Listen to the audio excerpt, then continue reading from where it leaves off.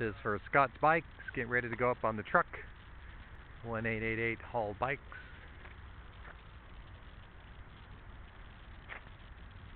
Um, what I had noted on here was basically like this stuff. Right. Now, I'm not sure. I think that'll come off.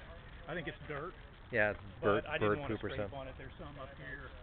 Yeah, and it came just in from from their trip, so it wasn't cleaned or anything. This looks like, yeah, I would mark that. L for Mard.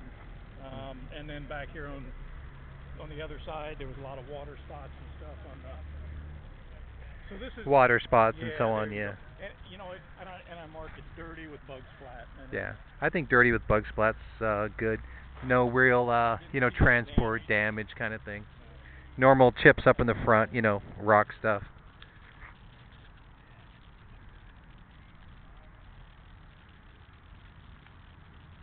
It's like bird poop just from setting out.